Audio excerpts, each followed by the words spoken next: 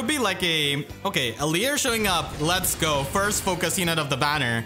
Um, so Alear is definitely a monster when it comes to damage reduction, so I hope she's not minus speed. And she's minus speed. Like, keep showing up with the 4-star special rate, and Alfred is gonna be showing up. Let's go. Alright.